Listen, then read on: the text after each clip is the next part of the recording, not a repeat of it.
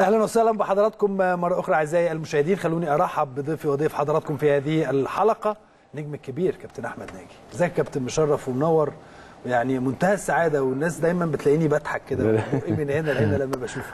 اولا طبعا أنا سعيد جدا إن إن إحنا مع في, في النادي الأهلي ومع جماهير النادي الأهلي. طبعا. جماهير مصر كلها طبعا. وسعادتي الأكبر إن أنا آه، شفتك النهارده لأن بقالي فتره ما شفتكش أنت عارف معزتك و- ومكانتك عندي. صدر آه، الحنين بتاعنا قبل ما يكمل بس الصدر الحنين بتاعنا كلنا بتاع الجيل ده كله. ويا رب تكون حلقة كده حلوة تعجب الناس. ونبسطهم ونسعدهم إن شاء الله. دايما حلقاتك حلوة يا كابتن ودايما ذكرياتك جميلة و... وواحد من صناع حراس المرمى في تاريخ مصر. يعني لما نيجي نتكلم على صناعة حراس المرمى في مصر بنتكلم على طبعا في كباتن كبار ولكن الكابتن أحمد ناجي دائما اسمه بيظل محفور في قلوب كل الأهلاوية وقلوب كل جمهور المصري يا كابتن ناجي. هو ال- ال- الحمد لله يعني آه، الفترة اللي شرفت بالعمل بيها في النادي الأهلي كانت آه، بدأت ثلاث سنين صعبة شوية مع آه، مستر ديكسي ومع جو بونفرير ومع الكابتن حسام ده في شوية الفريق و- الأول. آه والكابتن فتحي مبروك شوية. سنتين ثلاثة كانوا صعبين بعد كده خلاص آه، بقى. آه يعني آه، كانت فترة فعلا من من أرقى وأزهى آه، فترات النادي الأهلي من حيث آه، يعني الفرقة اتعملت بشكل جيد جدا. آه، كان طبعا آه، تواجد مستر مانويل جوزيه في الفترة دي اللي كملنا فيها كملت فيها حوالي 13 موسم مع مع الفريق في الأول. وطبعا كان فيها طبعا ارتباط الجماهير بال- بالفترة دي كان ارتباط قوي جدا. وانتوا ما شاء الله كان فرقة يعني بعدين على البنش مستريح. مرتاحين يعني يعني آه، مجموعة لعيبة كانت آه، قوية جدا ادتنا فرصة إن إحنا نعمل آه، تاريخ كبير للنادي الأهلي طبعا وبعدين لينا وليكوا طبعا في الفترة دي. هنتكلم في كل هذه الأمور يا كابتن ناجي ولكن خليني أبدأ كعادة آه، برنامج سهرة مع بنحب نعرف الناس بدايتك وحياتك والدنيا مشيت إزاي لغاية لما جيت قعدت معايا هنا النهارده. وكل جمهور الأهلي ينتظر هذه الحلقة تحديدا لأن أنا عارف إن فيها ذكريات كثيرة جدا. ده كفاية. اللي بيني وبينك يعني, يعني نبدأ بالبداية ال- البداية بتاعتك كفر يا الدوار. كابتن. آه. آه، طبعا وأنت يعني بلد يعني كفر الدوار وإسكندرية. طبعا طبعا. وحلم ال ال ال ال إن أنت تلعب في نادي كبير. كان أنا بلعب في نادي غزل كفر الدوار. مم. وآخر الموسم أنا كان عندي 17 سنة وشهور. آه، كنت بمثل ال- النادي في تحت 18 وتحت 20 وببقى احتياطي مع الفريق الأول. مم. فالسنة خلصت ال- الفرقة ما صعدتش وما نزلتش. يعني في آخر مباراتين ال- المدرب آه، كابتن ميمي زكي ما أعرفش رحمة الله عليه ولا ربنا يديله الصحة أنا مش عارف مش متابعه. آه. كان هو اللي ماسك الفرقة وقرر إن هو يلعبني الماتشين الأخرانيين في الدوري العام. في الفريق في الأول الفريق الأول. آه. آه، من بعديهم آه، كنا بنلعب دمنهور في دمنهور. و... ولعبت مباراة كبيرة جدا والنتيجة كانت 0 0 وأنا طالع الباص كان في آه، ال third back بتاعي اسمه احمد ناهض.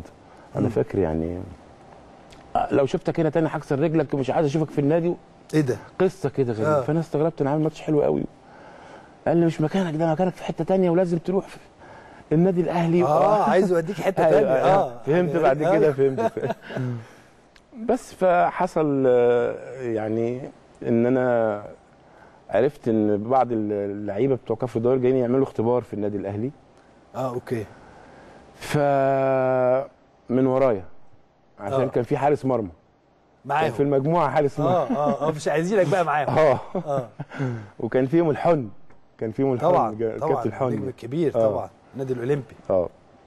فأمي رحمة الله عليها عرفت. امم فقالت لي لا هتروح. وتركب بص عملت لي خريطة كده رحمة الله عليه. تركب في آخر القطر وتنزل تتقابل معاهم في محطة مصر. خلاص. عادي كأنك آه، معاهم بقى. آه. وده اللي حصل بالتحديد. جابت لي لبس جديد وجابت لي جزمة جديدة.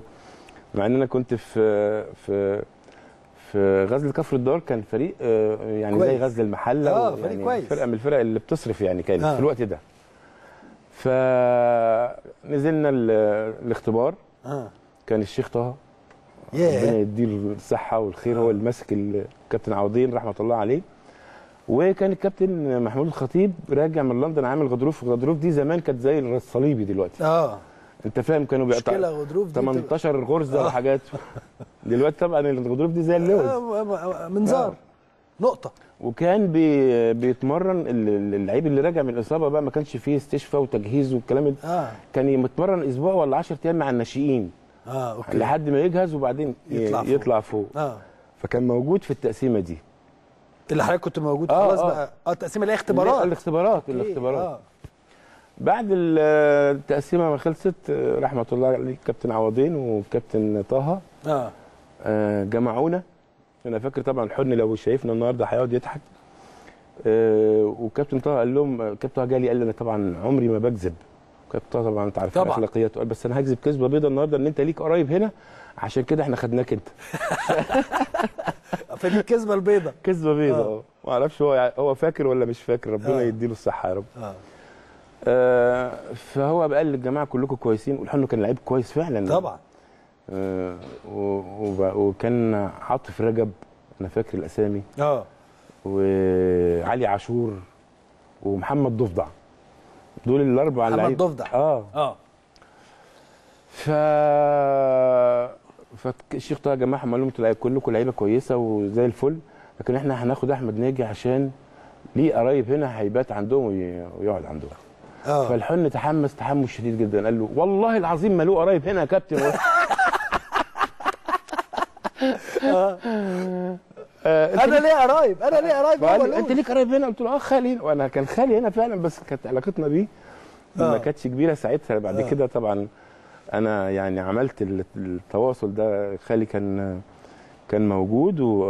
و... وعايش في القاهرة. بس هو ما كانش يعرف كابتن أنا عندي خالي في القاهرة ولا آه. آه طبعا الحاج أحمد حواش رحمة الله عليه وولاده دلوقتي طبعا أصدقائي كلهم و... فبدأت من هنا بقى دي البداية. المشكلة اللي بعد كده بقى الاستغنى ما أنا- ما, ما الاستغ... قبل بس ما اتكلم عن نقطة الاستغناء يا كابتن ناجي إيه إيه حراسه المرمى؟ يعني ليه أحمد ناجي حارس مرمى؟ ما هو دايما اللعيبة اللي بتلعب أنا عمري ما لعبت حاجة تانية. حتى في أنا في الشارع المدرسة يعني آه في المدرسة في آه. الشارع. وبعدين عندنا نادي غزل كفر الدوار من وأنا 13 سنة بقيت في النادي. آه. فأنا, فأنا معتاد جدا على جو التقسيمه اللي أنا عملت فيها الاختبار دي معتاد جدا ده على. المباريات. آه. آه يعني بلعب عادي بشوط ضربة المرمى عادي آه بنظم الدفاع. أنا بلعب درجة أولى به. آه. درجة أولى به دي أصعب من أصعب الممتاز. طبعا طبعا. فأنا بلعب يعني يعني لا أنا بتكلم طه في الشارع يعني حتى في الشارع كانوا بتقف جول. حارس مرمى. الطوبتين دورات وتقف- الرمضانية آه والحاجة والاقلام تضيع والكرست حط القلم في في البتاع يروح. فاكر واقعه مع أبويا رحمة الله عليه؟ آه. الإقلام كانت بتروح على طول. فجيت مرة آه، يعني رحت حاطط مكان القلم عصاية. آه. عشان مش. تعدي. آه. بس من غبائي بقى حطيت عصاية تخينة شوية. قال لك إيه القلم التخين ده؟ آه. آه. فلا يعني لا من يومي أنا ما ما, فكرتش في حاجة تانية آه. ما فكرتش في حاجة تانية خالص. يا خالص خالص. آه okay. لعبت مرة؟ لعبت مرة جون handball دخل فيها 30 جون اتعقدت. آه. ال handball بالايد يعمل لك كده ويقوم تحس يعمل ان الجون feint. صغير آه، بس آه. هو كبير قوي. آه لا هو اللي طبعا اللعب بالايد غير اللعب غير بال- الرجل آه فمن هنا بقت أنا في النادي الأهلي من سنة 78 آه. لحد دلوقتي شوف أنا عمري اتنين داخل على 62 أنا سنة. اديك الصحة يا كابتن. فتقريبا يمكن داخل على على على 44 سنة في النادي الأهلي. آه. منهم 13 موسم مع ال- مع الناشئين. مع الناشئين كمدرب يعني. و10 سنين قصدي مع الناشئين و13 موسم مع الفريق الأول. بسم الله ما شاء قبل الله. ما تت- أبدأ رحلة بقى الشغل آه، منتخبات. في في قطر. لا الأول. الأول، آه، أوكي. سنتين وبعدين مع مستر من جوزيف إيران. آه. وبعدين رجعت على شغل المنتخبات. طيب آه، وصلنا لنقطة الاستغناء بتاع كفر الدوار. آه. آه. إيه اللي حصل؟ فعم عبده البقال بقى بالحرفة آه. بتاعته رحمة الله عليه. آه.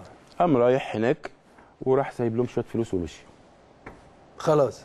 آه ما خدش ما خدش استغنى ولا حاجة آه. عملها مرتين هو عم عبده في حياته معايا ومع مدحت رمضان آه في طنطا في طنطا آه لكن كان قبل بس ما نتكلم في ده الاختبارات كان الشيخ طه هو اللي موجود الشيخ طه والكابتن عوضين والكابتن حازم كرم رحمة الله عليه آه طبعا آه، طبعا كان كابتن. حازم آه. آه. الله يرحمه يعني آه. لكن الشيخ طه يوميها كذب كذبة بيضة هو ما بيكذبش ابدا آه. عمره هو هو طريقته وحياته كبني آدم وك و وتعلمنا منه وتربينا تحت ايديه. أيوة. أنا دايما أقول عليه الأستاذ الأستاذ بتاع يعني أنا بعتبره. أستاذي أستاذي يعني هو